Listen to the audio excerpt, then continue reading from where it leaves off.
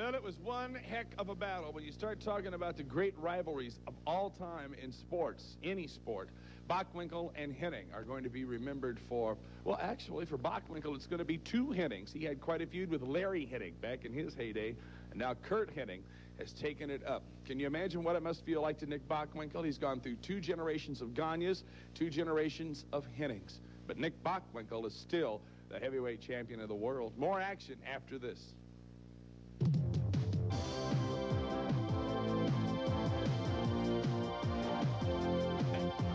This match is one fall. There is a 60-minute time limit. This is for the heavyweight championship of the world. First of all, the challenger already in the ring. He is the number one contender in the world. From Robbinsdale, Minnesota, weighing in at 247 pounds, he is Curt Hennig.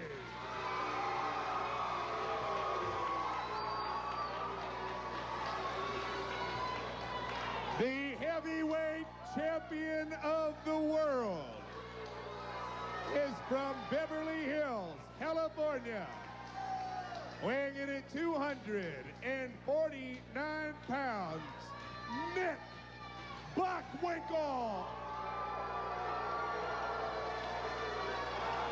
Gary DeRusha is your referee. Down to ringside to Rod Trongard and Russ Francis. And here we go again. We may be here for 60 minutes, Russ Francis. The last time these two men met in this very ring, it went 60 minutes to a draw in one of the bloodiest, one of the roughest, the toughest, and best wrestling matches I have ever seen. Look at young Curt Hennig. The look of a man with a mission. The look of determination as he goes for the championship of the world, and you know what that's all about, going for a world championship. There aren't many chances to get there. Right. And when you get there, you have to take full advantage of being there. And Curt is thinking right now, every second counts. And it may be, as you say, 60 full minutes. Nick Bockwinkel, four times world champion from a wrestling family. His father, his late father, Warren, a former world's champion. Nick Bockwinkel knows that his days may be numbered as the champion. He knows he is giving up a lot in youth, in stamina, not in determination or anything along that line, and he certainly has experience on the young man from Robbinsdale, Minnesota. But Curt Hennig is closing that gap very quickly. When you're fighting an older opponent, per say, or a veteran opponent, the experience is certainly there. And let me tell you, their incentive is there to win. They know that they may not have much time left. They may, may not have many more years left in the league, or in this case, in wrestling, they fight harder. They may be like a wild animal with their back up against the wall. They're the toughest to, to match. Nick Bockwinkel. We have called him on more than one occasion the consummate wrestler. And indeed, he has all of the qualities it takes to be a champion. You know, Rod, when I was younger, and I'm not that old, so it wasn't that long ago, I used to watch Nick just from the standpoint of his agility, his moves, the way he has total body control. He'll be up in midair with a leg scissors and be in complete control at all times. And I've watched that, and I've used that both in football and in wrestling. Curt Hennig opening up with a volley here on the champion. Bockwinkel made the mistake of cocking his fist, and you don't wait. You don't wait for there- someone to pop you. Now there's experience though. He came out the rope and he saw he had time, just enough time to see Curt launch that right arm. He pulled back on the rope, swung outside. Just take a breather. This is experience talking here. He's going to take his time, catch his breath, think about his next move. He's thinking, Nick is thinking like five, six, seven moves ahead. That's one of the many, many reasons that he is champion of the world. Nick Bockwinkel and Curt Hennig. Side headlock here by the champion.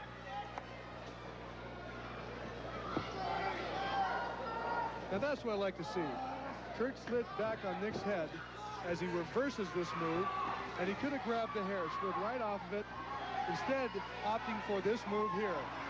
Nick, on the other hand, another road. It looked to me from here, what do you think? Little hair? Oh, yes. Nick has traveled many, many roads, Russ Francis, and he knows what it's like to go to war and fight the battle in just about every way conceivable that there is to fight. Well, when the World Championship is on the line, you can expect just about anything, let me tell you. Some of the greatest matches that have ever come down the pike have been between Nick Bockwinkel and a former champion himself, Verne Gagne. They had some tremendous, tremendous battles before Gagne retired from the ring. Just brought to mind a little while ago, you talked about a full 60-minute match, and I think a lot of people uh, it's hard to appreciate that just nonstop. When I was younger, my father was a junior heavyweight champion watched him many nights go 60, 90 minutes against Lou Thesz. When he came home, he wasn't himself for another week or two. Bockwinkel and Curt Hennig, after the hour-long match of a few months ago here at the Showboat, took some time indeed to recover. And I'm not talking about hours, I'm talking about days. Bockwinkel was going to work or went to work on the midsection of Curt Hennig. And now Hennig coming back into the ring does the same on the champion. A head knocker here. Look at this. Hennig quick to follow up. Gets a count of two. However, it is Nick Bockwinkel then grabbing a hold of the rope, and Gary DeRusha quickly saw it and stopped the count. And Curt Hennig now goes to the side headlock and a hip toss, and down goes Bockwinkel. And Curt jumped on Nick there to pin him. That's the time you wish the ring was just a little bit wider. The rope was right there for Nick to grab on. Otherwise, it might have been a three count.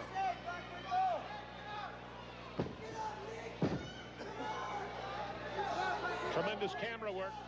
Our floor director here is Sandy Chanley, and directing it all in the truck is Mike Shields as you get a close-up look of Curt Hennig and Nick Bockwinkel. It doesn't look like a lot is happening here. Curt's got Nick around the neck, but what this does is wear a man down. Curt is using his weight on Nick's chest, which is restricting his breathing. He's grabbing him around the neck, which is restricting blood flow. They talk about four quarters in a football game and gradually wearing the opponent down. This is exactly what Curt is doing.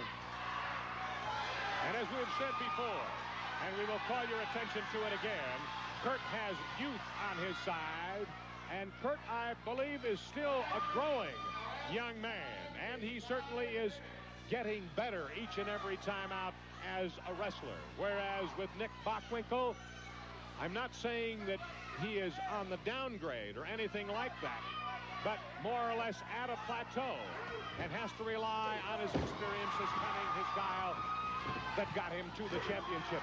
Hard shoulder block. Both men pay the price. Both men flat on their back. Bockwinkel in the center of the ring. You see Curt Hennig shaking his head, blinking his eyes, trying to get it back as Gary DeRusha is in the count. It doesn't take a shot to the head to knock a man out, knock him senseless. Right to the sternum, all the wind, everything is taken from you. The oxygen leaves the brain it's hard to focus. Both men with their feet at about the same time. A savate kick there. Again to the solar plexus. Small package here.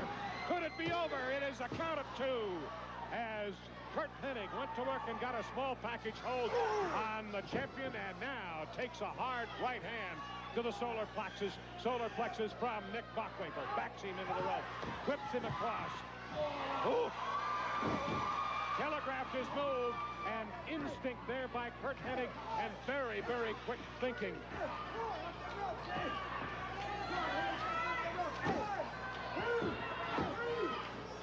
Bockwinkel taking a pounding from the young man out of Robbinsdale, Minnesota, in quest of the championship. We're talking about Curt Hennig.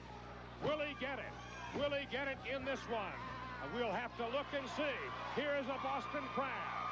And whether or not a young man by the name of Wilbur Snyder, while he was young several years ago, authored this hold, I'm not sure. But I saw him apply it to many, many a wrestler. And you see the pain in the face of Nick Bockwinkel as Curt Hennig has the Boston Crab on the heavyweight champion of the world. I beg your pardon, the abdominal stretch, not the Boston Crab, the Right. abdominal stretch. Nick is not giving up at all. Not you at can see all. it in his eyes right here at ringside. You can tell it. You can see it. I can feel it. We are within about 10 or 15 feet of ringside, and indeed you can, in your own way, feel the blows as they are handed out by the wrestlers in the ring. Across the ring goes Curt Hennig, and Bockwinkel is on the chase. A snapmare by Bockwinkel, and a cover by the champion. But a very quick kick out here by Curt Hennig. Curt's trying to gather his senses here, and this is one of those punishing holes too that wears you down, restricts the, the flow of blood to the head. And just then, Curt was just trying to gather his senses. This is going to take even more strength from him. The figure four around the neck of Curt Hennig as you get another great close-up there. You can sense too from the crowd, Rod, the importance of this match. They're with every move, every second of this match. They're here feeling it with us. As they did several months ago for a full 60 minutes. The cheering was as loud at the end as it was at the beginning.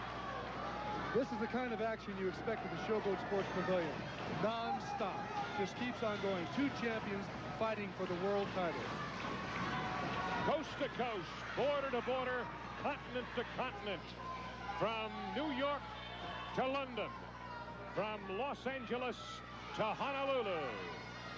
It's the AWA, the Major League of Professional Wrestling, and this one is for the Heavyweight Championship of the world. And these two men right here, Rod, have traveled the globe.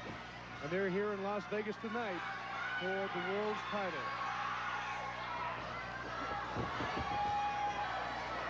Bockwinkel continuing with that figure four or scissor hold around the neck of Curt Hennig.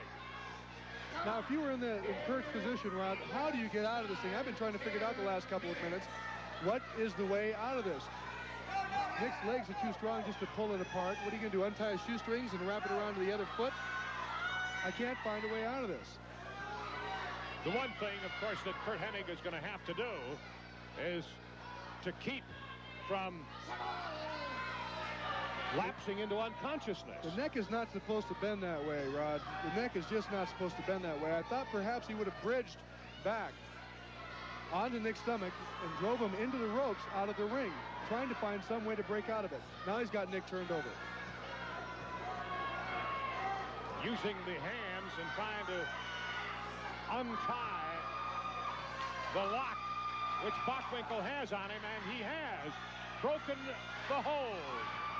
Curt Hennig, sheer brute strength, gets him out of the hold, which Nick Bockwinkel had him completely wrapped up in.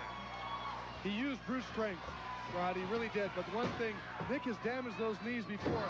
I'm not sure he has all the strength in that knee he used to have. And the hamstring on his left leg has to burn and burn badly. Step over toe hold with a twist. Curt has done his homework. This is part of the game plan, Rod.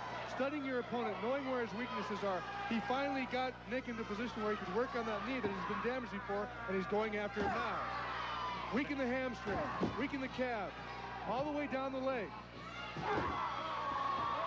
And a headbutt to the solar plexus and hard right hands to the side of the head of the champion.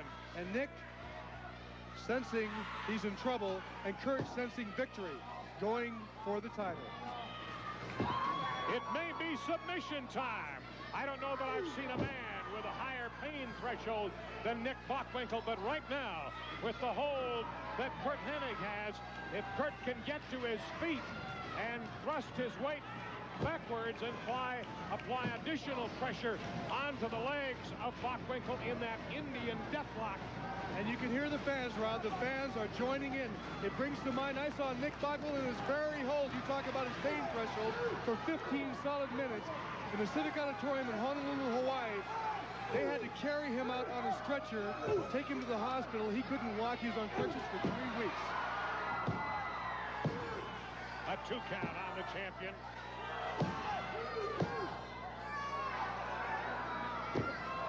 And now the question may be asked, how is Bockwinkel going to get out of this one? Well, he has rolled his way all the way across the ring.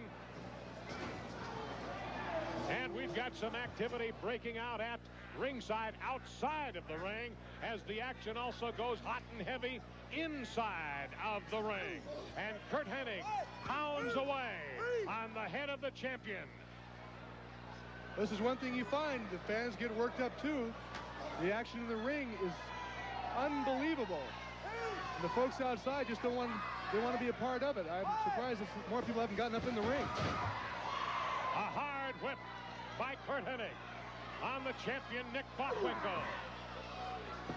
Hennig managed to catch the boot of Bockwinkel before it got to his midsection, but Bockwinkel was able to rake the eyes of Curt Hennig and stop him dead in his tracks. And now the whip across the backdrop. The cover. Just enough strength. Just enough strength to knock Nick off. Again the whip. Up and over. And here is I was about to say, here is the championship changing hands, but just as quickly, Bockwinkel was able to get out of it and just beat the three count. A knee lift by Curt Hennig. I don't think that Curt got that hold as tight coming over. He got a little bit far extended. The velocity carried him over. He didn't have as tight a hold. That's how Nick kicked out of it. Bockwinkel now is on the attack and uses the fingers with a karate shot to the throat. Both of these men have wrestled on many, many occasions in Japan both of them know the martial arts as well as a Mr. Saito or a Super Ninja. And now they are outside of the ring. And Bockwinkel pounding the head of Curt Hennig onto the steps leading up into the ring. And pops his head into the turnbuckle.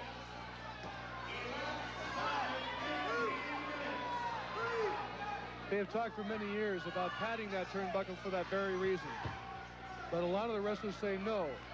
We don't want to change the sport at all. It's like the instant replay in football. There's a lot of controversy over it. If you watch a man's head go into it like that, you've got to wonder. Bockwinkel covering Curt Hennig following the body slam, but Hennig instinctively is able to kick his way out.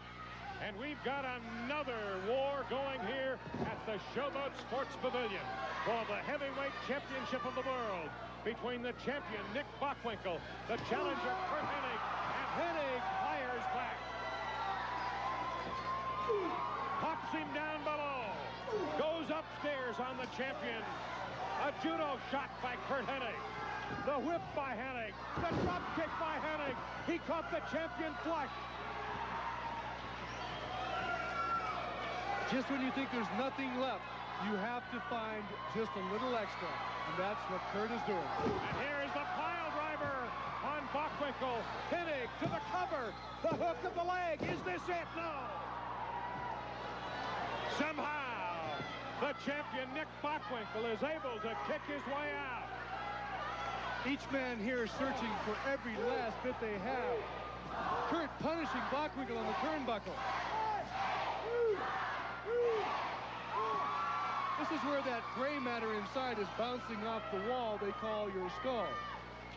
Nick is trying to find his senses here and trying to remember where he is and who he is. Oh. Curt Hennig eyeballing the champion, knowing that he has him in trouble. Bombs away with the right hand. Comes after him again and again to the turnbuckle on the opposite side of the ring. And now, what does Curt Hennig have in store for the heavyweight champion? Reversal here by Bockwinkel. Sleeper hold by Bockwinkel on Curt Hennig. Got to find a way out of this. He has to find a way out. If he doesn't, he's through. He's over. It's over. Up and over that top rope goes Curt Hennig.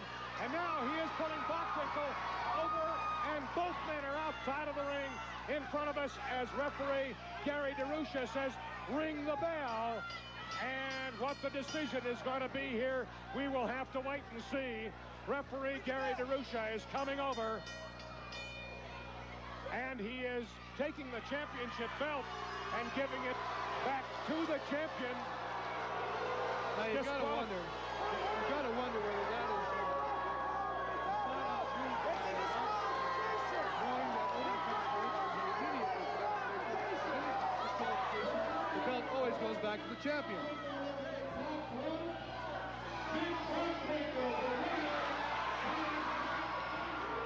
Curt not happy with that decision. Not happy at all as another championship opportunity has passed him by and he pops Gary DeRusha and now he comes outside and he pops Nick Bockwinkel, throws him back into the ring and he wants this war to continue. He may continue the war, but the match is over. Holy smokes. There is the axe, and there is a drop kick by Curt Hennig. Bockwinkel is out on his feet. And now Curt comes over, grabs a hold of the championship belt, goes back into the ring, and says, it's mine. It is mine. But I'm sorry, Curt Hennig, it is not yours. It will have to come another time, another day. And he does leave it with the heavyweight champion who is flat on his back. And we'll be right back.